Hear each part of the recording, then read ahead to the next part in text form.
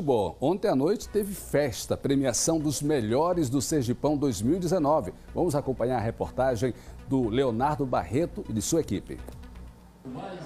Em campo, dezenas de jogadores. Fora deles, outras dezenas de pessoas trabalhando para que tudo acontecesse como planejado. Um clube de futebol não se faz só com os atletas, nem sem eles, mas se faz com dirigentes, né, com patrocinadores, com parceiros, a exemplo do Sistema Atalai de Comunicação, né, da Rede Record.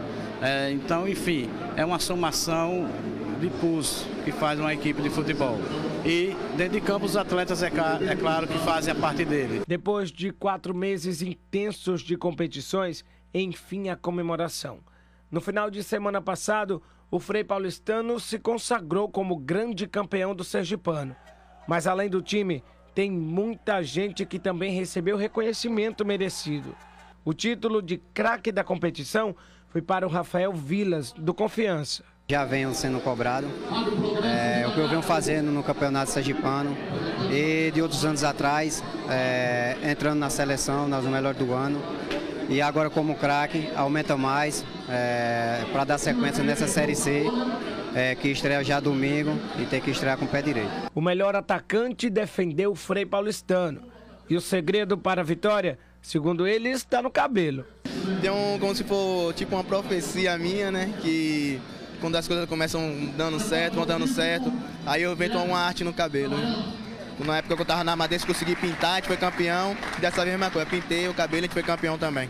Então tá dando certo. Não, graças a Deus tá dando certo sim. Betinho levou o título de melhor treinador. Depois de deixar o Confiança em uma péssima fase no meio do campeonato, assumiu o comando do Frei Paulistano, que acabou levando o Sergipão. Uma alegria muito grande, né? É, quem sabe como é ser treinador hoje no futebol, sabe a dificuldade que é, a pressão que existe, né? Porque o trabalho só é valorizado com as conquistas, você tem que estar sempre tendo que vencer, né?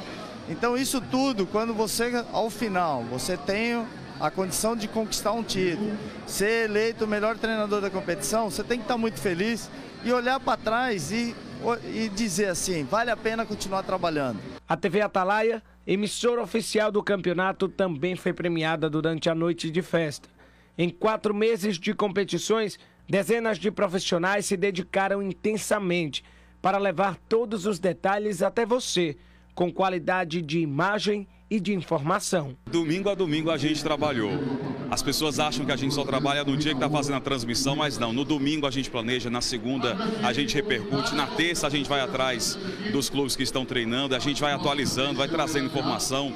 Raimundo Macedo sempre trazendo as polêmicas né, de tudo que aconteceu no campeonato e a certeza de que nós levamos ao público sergipano a melhor transmissão do campeonato sergipano, cada vez melhor. Hoje, nessa festa, é a cereja do bolo. Mas diga a você que está aí do outro lado que a forma do próximo bolo já está preparada, porque ano que vem a gente transmite mais uma vez essa festa do futebol pela internet, pela televisão, do jeito sergipano que a gente sabe fazer, do jeito gostoso de fazer jornalismo, que é o que a gente faz no Sistema Atalai de Comunicação. Então digo que ano que vem tem muito mais. Foram 15 sábados importantes que alegraram a população sergipana.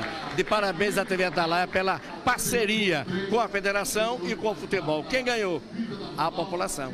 Mais um ano de sucesso, uma parceria que vale lembrar foi renovada até 2023, ou seja, futebol sergipano é coisa nossa, fazendo valer o lema da TV Atalaia, que é a TV dos sergipanos. Encerrado oficialmente o Campeonato Sergipano 2019, agora já podem começar os preparativos para a edição 2020. Vamos marcar reuniões né, com algumas empresas, já vamos marcar reunião com a televisão que tem nos apoiado há cerca de quatro anos e que renovamos esse contrato por mais quatro anos, que no caso a TV Atalaia, para pensarmos né, uma fórmula mais atrativa, uma fórmula mais motivada para a temporada 2020. Então a federação não para. Né? Acabamos a temporada 2019 e já estamos planejando 2020.